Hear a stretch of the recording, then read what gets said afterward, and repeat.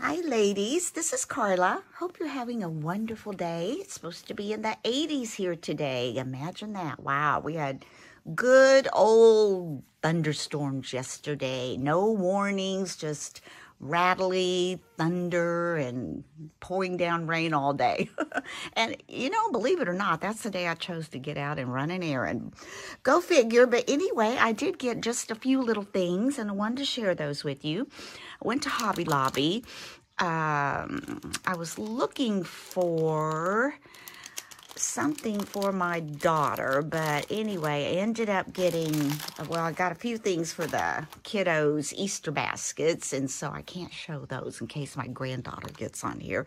But anyway, I did pick up some stickers, and I love these little stickers. I didn't find the ones I was hoping to find. They were all sold out. I waited too late, but I did find these, I think these are just adorable. These were all oh gosh, I can't remember either. I think these are 40% off. Most everything, I think, in the spring stuff is 40% off. Some of it maybe 50 but these are adorable. Look at these little bunny things. What cute little embellishments those can be.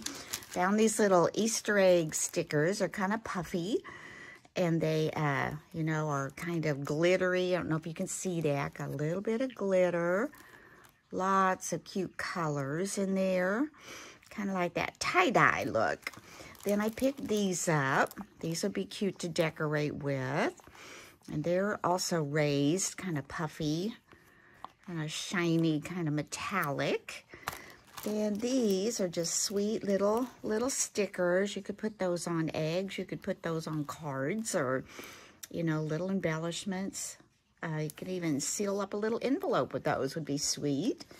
And then these are just little bitty ones. And I was thinking these might be small enough if you make bows, you know, you could put that little sticker instead of wrapping that little thing around there. You could just put that in the center of your little bow. Then these I thought were adorable. Some more little spring stickers, not necessarily Easter, although some could be used for Easter, but I just think they're cute little sweet spring stickers. Look at this little bunny on the bicycle. Oh, he's so sweet. Cute, cute. And then I picked up, this was the only bag of this particular kind they had left. So I like these little thicker kind of felt flowers that you can use to embellish with. So these are nice, bright spring colors. And these little cutie bunnies, look at that. So I picked those up.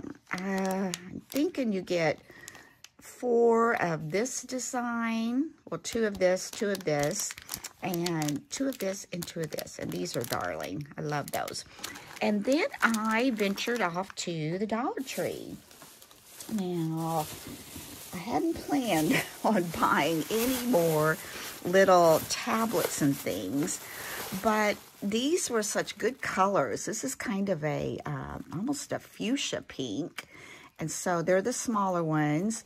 But I like that color. And then this bright blue, I got that. And I'm thinking craft fair with these. And then uh, this is kind of, well, maybe this is more the fuchsia. This is a, a pink, and then this is a really the bright, bright pink. This almost looks almost like um, it has more purple in it, but it is a pink.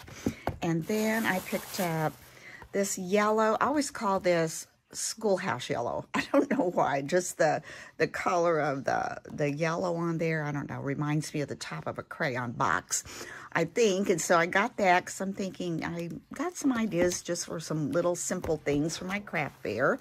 So we got those.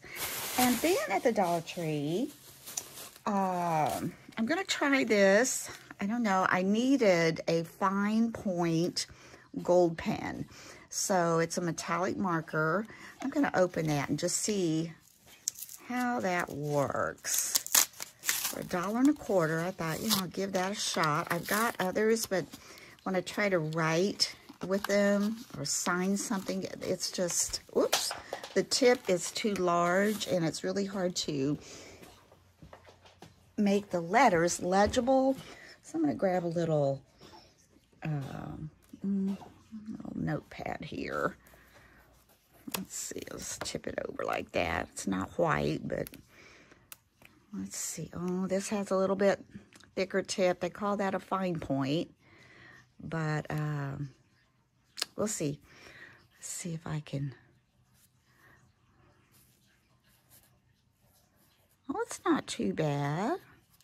Now I need a white piece of paper so I can see just how that color works. Let's try it on here. Okay, this is scrap paper. Yeah, I like the color fine. Color's fine. It's a little bit metallic. But the, the tip is a little, little larger than I had hoped, but I'm sure I will use it. I'm sure I will use it. And let's see, what else did I get here? Oh, I know the last haul I did from Hobby Lobby, someone had mentioned that the Dollar Tree had these little foam uh, tabs. They call these uh, phone mounting tape. And these were over in kind of the tool section. These were not in the craft section. In the craft section, they have just the, the tape that's not segmented into the little uh, peel off squares or triangle or rectangles, whatever. And uh, I like these. I mean, you get uh, I don't know if it tells you how many, but there's six feet of it. So you're getting quite a few for a dollar and a quarter. And the ones at um, Hobby Lobby, I know I think you got 288. It was a, probably a little bit larger, but it was also $4.99 a package and I'm not sure if it was the 40% off or not. It was the Pay Paris brand, if you recall. So anyway, that's a good deal, and I've been using lots of these lately, so I picked up a couple of those. And then I found um, this little ball of twine. They had their twine there. It's kind of a natural jute cord, and I like that natural look, so I'm thinking craft fair, so I picked up a little roll of that. And these I found um, in the baby section, and I am loving these. I picked up, gosh, how many packs of these did I get? Let's move this out of the way. These are favor boxes, and there's eight in a package, and for a dollar and a quarter, gosh, I can think of all kinds of things to use these for, for craft fairs, you know. It would save you time and having to make the boxes, and you could decorate those with any theme you wanted for Christmas. I mean, just think of all the possibilities. Snowmen, reindeer, uh, wreaths, um, candy canes, uh, Santa Claus, you know, jingle bells. You could just go all out with this. And I'm going to open these and show you the size because I'm not real sure. But I got one, two, three, four, five. No, I got six. I was going to say, I thought I got six and just eight in a package. So that is uh, six times eight is 48. 48 of those. And when I make a craft, I usually try to make 10 of each. But if I do Mayday baskets this year, I may go back and get more. I'll have to talk to my granddaughter and see if she wants to make some. But this would be great. And, you know, you can um, decorate these like you would if you were making a little treat bag. Okay. You, these would fold out. And they would be, see, like here and here. And then you've got that crease in the center. Okay, this is always kind of tricky for me. Okay, how do we do that? We go this way first, I think. And then we're going to come in here and somehow we want to make this. Uh, do we want that to go? We want this to come. Um, okay, let me look. No, I, I've done these before. Now I'm having a hard time trying to think. You want this to go in. So we're going to fold this in. Let's fold this in. And then this should come up. There we go. And you're going to fold this like this. Get that in there. It's a little thicker over there. I'm just going to fold this in to make our little crease. And this one, I'm, I'm going fast, so it may not be exactly right, but something like that. And then, that's not real good in there. I got a little bit off that. There we go. Now, and then we do the same thing over here. So what I did with that one, and that one's not folded exactly on that score line. Let's try to get that a little better first. Excuse me. Then we're going to, I'm almost wondering if you would cut that. It would be easier, but we're not going to do that right now. We'll just try it like this. And again, we want this to fold up. Okay, these are gonna go, this is gonna come up. These are gonna go in. Okay, got this up.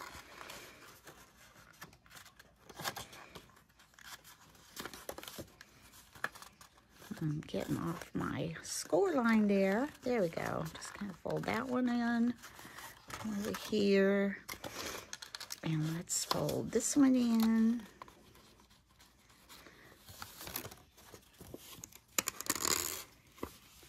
Kind of does that. And then these, let's see. Oh, I see. I see. I think it just uh, slips in there. Let's fold on this score line. and I may do this totally different, in different order when I actually do it to see what it is I'm trying to do. And this goes, or maybe these are supposed to go in. Are they? Do you think these are supposed to go in? Maybe. Or out. No, that's like that.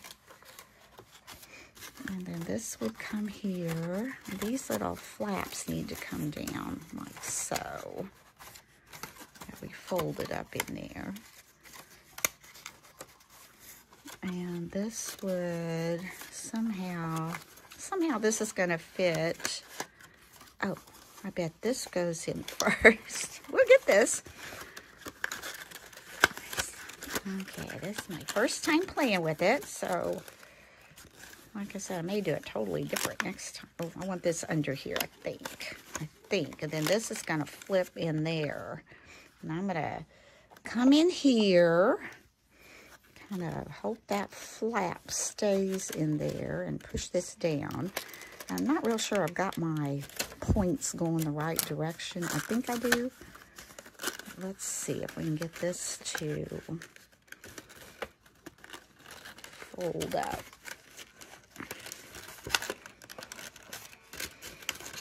Well, This may be a little bit of a challenge. Is that right? I'm not sure I have the sides right. I'm thinking they may need to go in. This may need to go in. Let's try it. Poking this. No, that's not right either. Well, I tell you what, when I get ready to make my little things with these, I think it will be cute. I'm going to have to figure out for sure how I do this bottom and get it together. But but look at that. Isn't that cute? I mean, if we get it figured out, that would be darling. It actually reminds me of some things I made last year to make, uh, you know, put a snowman face on it or different things. So I think that will be cute. Like I said, I'll have to figure out that bottom. That I know that's not right. So anyway, that's my little haul today. I hope you've enjoyed this. And if you have, give me a little thumbs up. And now I'm going to get ready and make some little Easter goodies. Thank you for watching. And if you liked it, please hit that little like button. Until next time, bye-bye. Well, I just couldn't sign off until I figured this out. And I figured it out and ladies, it's really not that difficult. I was just trying to make it more difficult than it was. What you're going to do is these sides definitely go in and this little crease definitely comes out. Then where you've got this little flap and this little flap here, what you're going to do is this larger flap, you want to go ahead and put some glue on that. Okay, we're to glue that and we're going to just simply take this, fold it down, and these outside flaps, we're to come in here and glue those down, okay? Pretty simple, actually. And I'm to lay it flat so I can come in here with my bone folder and make sure I've got that glue on that tab mashed down so it is sticking because that's basically what you have to do. Just glue those on and uh oops let's see. That one's up a little higher. There just glue them on here and then you're going to have this little slit right there that, and I know that's not dry yet. When I try to push that in there, it's probably going to pop out. But you're just simply going to take that after that's dry and just slip that down in there. And how simple is that? Might be easier. What I did was I had folded this in this crease and that made it a little more difficult to get it to go flat. But after you get that glued on there, I'm going to come in here again and just mash that down. And there you've got your cute little treat box and you can decorate that any way you want. You know, you can take measurements and layer up some fronts and put a little decoration on there. You could wrap ribbon around these little handles or tie them together. Just lots of little things you could do with that. Anyway, a simple way to make a little gift box. So, got that figured out. Thank you for watching again and join me next time for my next little haul or my next little project. See you next time. Bye-bye.